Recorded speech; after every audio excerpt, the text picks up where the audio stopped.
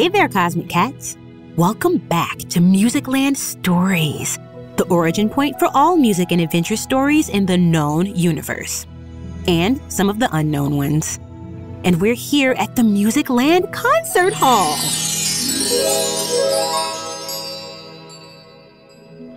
Your friend the conductor is back on broadcast.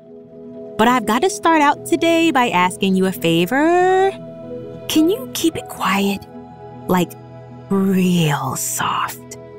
I'll explain in just a minute, but for the safety of all parties involved, we just need to stay very quiet. Sometimes the quiet parts of a song are the most important. They get you to lean in a little bit, to come a little closer Pianissimo, we sometimes say in the conducting biz, or sottovoce. It helps to speak a little Italian in my line of work. Giuseppe Verdi taught me to parlare italiano backstage at La Scala in 1834. But we're not here to talk about that. Where's here? That is an excellent question. And it brings me back to why we need to be quiet for a moment. You might remember that our friend Mo and her new friend Twilo had gotten the legendary drumsticks of Krupa Khan back from the clutches of, well, me. But it had come too late for Mo to meet back up with the Arkestra Obscura back on her home planet, Syncopia, and take her rightful place as their new drummer. Lucky for them, I had a plan for Mo and Twilo to find the orchestra on their interstellar concert tour. Mo and Twilo had just stepped through the portal for parts unknown. She's a brave one, our Mo, but I'm glad she's bringing a friend along.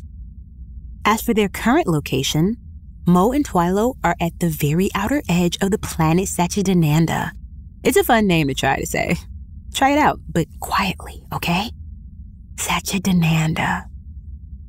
I say they're on the outer edge because, you see, Satchidananda is perfectly flat.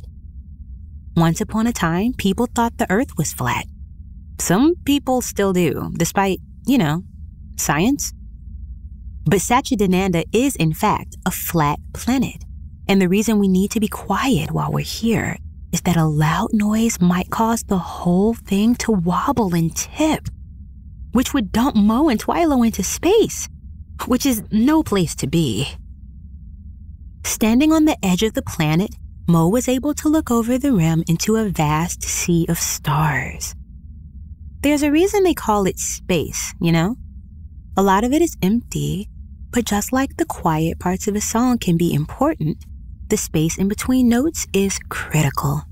Sometimes you need to wait a beat before you hit big. Feeling a little dizzy looking at all that space, Mo turned around to survey Satchidananda there wasn't a whole lot to see. When I say the planet was flat, I mean it was flat. The only thing that stood out to Mo was that at the very center of the planet, there was a column of light shining up from the ground. It was like all the light from all the stars was pouring through a hole in the middle of the planet. Well, she said to Twilo, I guess that's where we've got to go. Mo and Twilo took their first steps toward the center of Satchidananda. And no sooner had they done it than their faces were smushed up against an invisible wall. Like a window without a spot on it. As they felt around, it became clear that the wall ran in both directions, keeping them from making a beeline to the column of light at the center of the planet.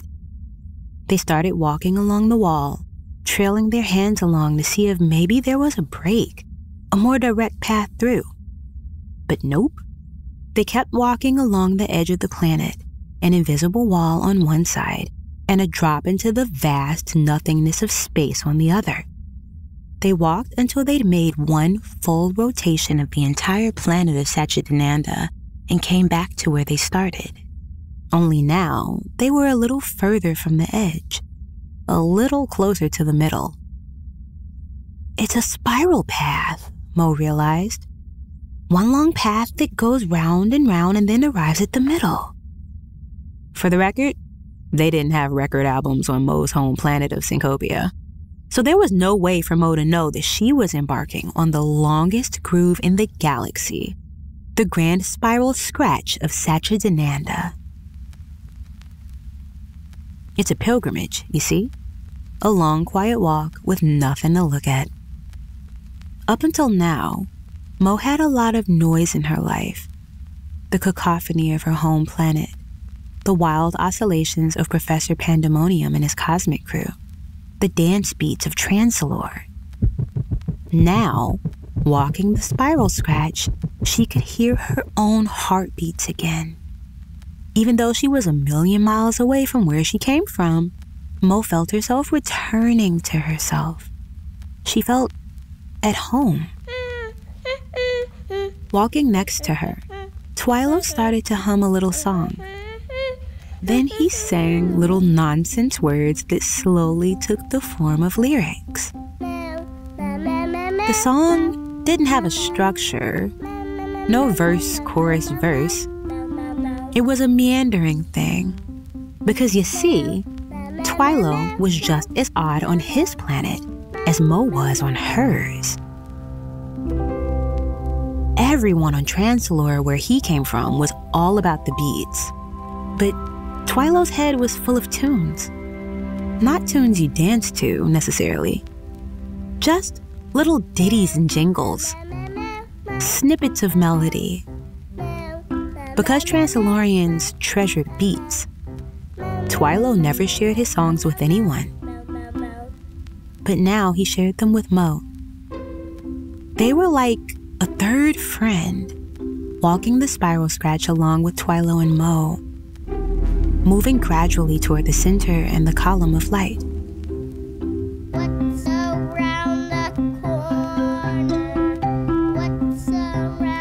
As they walked, Mo began to tease out the rhythm in Twilo's song. She started by tapping her thumb ever so quietly on the side of her leg. But soon she was drumming out a beat with her hands on her thighs. Twilo picked up the beat, and his song became more focused. The rambling lines turned into verses, and one particularly good snippet became a chorus with a hook. Hey, hey Mo, hey, hey Mo. Like something summoned out of the sea, the song rose up until it was such a solid jam that Mo and Twilo stopped noticing how long their spiral journey was. Before they knew it, they'd arrived at the center of Satchidananda, the column of light, and the strangest being they'd seen so far on their journey, who happens to be one of my oldest and dearest friends. Her name is Shivaloka, and she is the bastion of balance. She sat cross legged on a bright orange platform that floated just above Mo's head. She wore a billowing white dress printed with flowers from over a dozen planets. And from under the hem of the dress protruded not two, but six slender, spidery legs. All of them crossed so they formed an intricate design, a collection of odd angles. Her arms were strong arms, because sometimes maintaining balance takes patience, and sometimes it requires strength. These were arms that could hoist a whole harp overhead if the situation called for it. Right this minute, they held a scale, dangling by a chain pinched between Shiva Shivaloka's fingers. And her face? Shivaloka had two rows of four shining eyes, each one shining like a gemstone lit up by the brilliance of Shivaloka's luminous brain. And she had a smile that, if you were to see that smile on the saddest, roughest day of your life, it would look like a new day about to dawn. It would look like the prospect and the promise that everything would be all right. Shivaloka smiled that smile at Mo and Twilo. Hello, little ones, she said. You've walked the grand spiral scratch of Satchidananda, a path very few choose to partake. Along that path, there's nothing to hear but the sound of yourself, there's nothing to find that hasn't been inside you all along. So, travelers of the Grand Spiral Scratch, can you share with me what you found? Mo and Twilo looked at one another. In its earliest stages, a song is like a secret. You keep it to yourself because it seems so delicate that if you let it out into the world, it might pop like a soap bubble. Then, if you're brave enough, you share it with one person and they add something to it a harmony or a guitar riff or a beat, and the song gets stronger. Maybe the two of you share it with a third or a fourth, and each of them adds something. Maybe you share it with an entire orchestra until the song that was once like a soap bubble is now like a whole planet. Hey, hey Mo. Hey. Mo and Twilo's song was still new, still a delicate thing, but they were brave and they had faith in their song. Mo began with the beat, and Twilo started to sing. And in the space between them and Shiva Loka, the song took shape. It was a bright, glowing globe, and it floated towards Shiva Loka and came to rest on one side of her scale. Shiva Loka reached her other hand into the billowing folds of her dress and pulled out a brightly shining feather, which she placed on the other side of the scale. The scale tipped left and right, left and right. But the tips were a little less wild each time.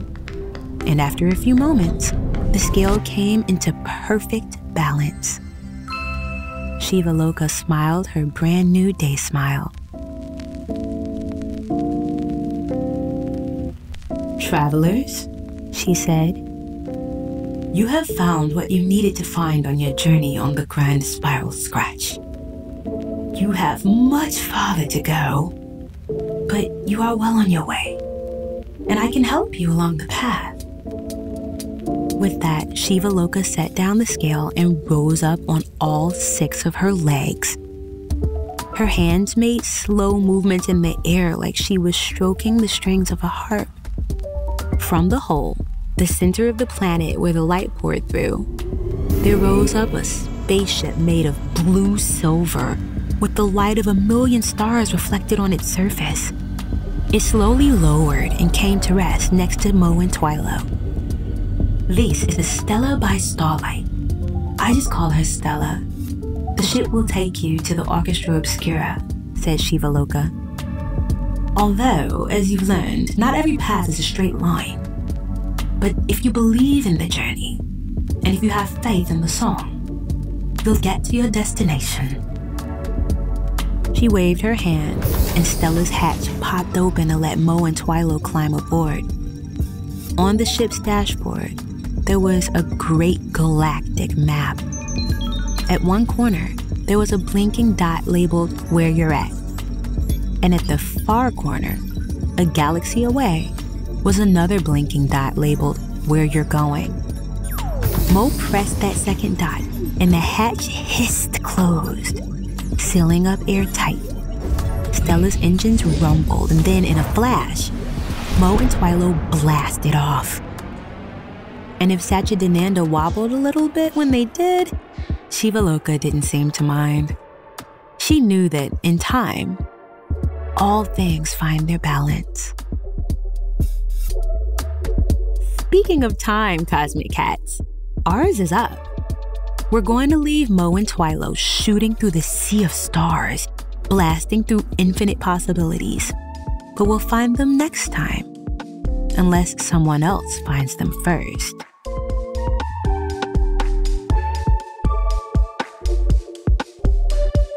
Musicland Stories is a collaboration between Starglow Media and Double Elvis. Executive producers from Double Elvis are Jake Brennan and Brady Sadler. Executive producers from Starglow Media are Jed Baker and Agrenish A. Palmer. This episode of Musicland Stories was written by Bob Prohl. Alessandro Santoro is our showrunner. Narration by me, Nikki Lynette. Original score by Jonathan Warman. Story editing by Zeph Lundy. And episode mix by Colin Fleming. Grown-ups, You can find more ad free fun for the whole family by subscribing to Starglow Plus on Apple or wherever you listen to podcasts. See you soon, Cosmic Cats. Until next time, Conductor out.